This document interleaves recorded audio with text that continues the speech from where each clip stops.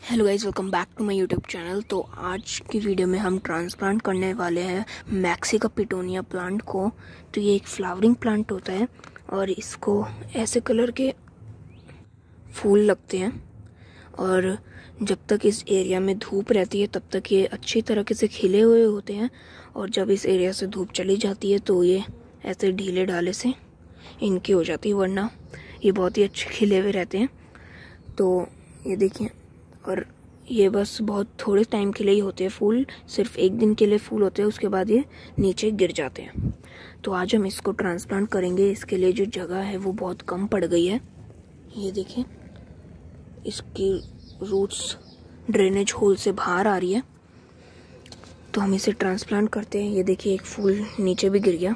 तो ऐसे ये गिरते रहते हैं और नए नए भी आते रहते हैं। ये देखें इसको एक, इस बार बहुत अच्छी फ्लावरिंग हुई है। हर रोज़ इसको दो से तीन फूल ज़रूर लगते हैं। ये देखिए।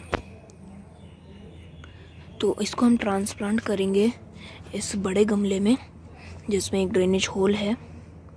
तो चलिए इसे ट्रांसप्लांट करते हैं। तो पहले इसके ड्रेनेज होल में एक स्टोन हम लगा देते हैं। और उसके बाद हम सॉइल मिक्स डालेंगे। और ये सॉइल एकदम नॉर्मल गार्डन सॉइल है, इसके लिए मैं कोई भी कंपोस्ट यूज़ नहीं कर रहा हूँ। जो भी पहले की इस मिट्टी में कंपोस्ट होएगी, वो होगी तो पता नहीं, वरना मैंने इसमें कोई भी ऊपर से कोई कंपोस्ट ऐड नहीं करी है। तो थोड़ा सा हम पहले एक बेड बना देंगे।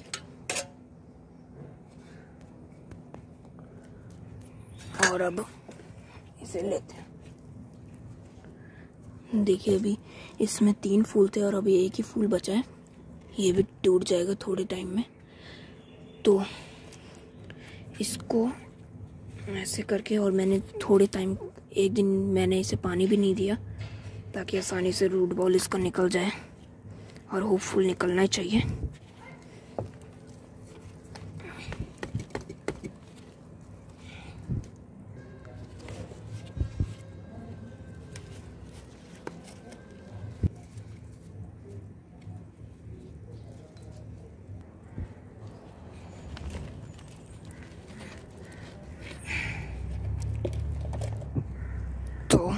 थोड़ी मेहनत करने के बाद ये इसका रूट बॉल अच्छे से निकल चुका है और इसकी रूट्स आप सामने सामने देख सकते कितनी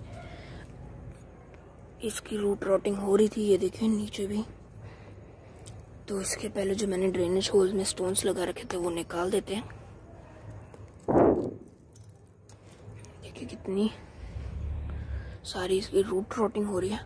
तो अब इसको अच्छे से स्पेस मिलेगी। थोड़ी सी मिट्टी डाल देते पहले।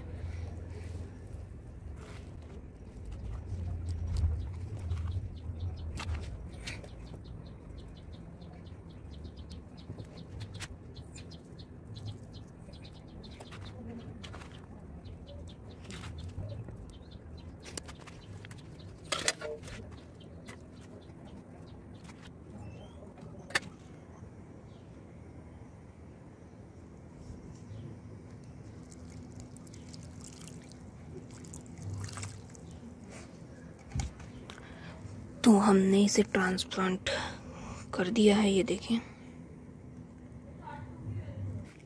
तो मैंने इसे ट्रांसप्लांट कर दिया है। और अब हम बात कर लेते हैं इसे कब ट्रांसप्लांट करना चाहिए। तो अगर आपको एक्सपीरियंस है ट्रांसप्लांट करने का तो आप इसे किसी भी मौसम में ट्रांसप्लांट कर सकते हैं। और अगर आपको एक्सपीरियंस नहीं है तो मैं प्रेफर करता हूँ कि आप इसे बारिश के मौसम में ही ट्रांसप्लांट करें।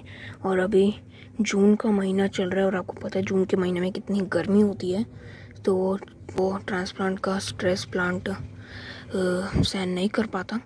तो अगर आपको एक्सपीरियंस नहीं है तो आप बारिश के मौसम में ट्रांसप्लांट करें, वरना अगर आपको एक्सपीरियंस है तो आप कोई भी कर सकते हैं। तो ये था मैक्सिका पिटोनिया प्लांट की ट्रांसप्लांटिंग मैंने आपको दिखाई। और ये फूल जो आप देख रहे हैं वो, ये कली खिल जाएँगे। तो चलिए, अगर आपको ये वीडियो अच्छी लगे तो प्लीज़ लाइक, चैनल को नीचे सब्सक्राइब करना ना भूलें। तो मिलते हैं नई वीडियो में, तब तक के लिए bye bye and take care.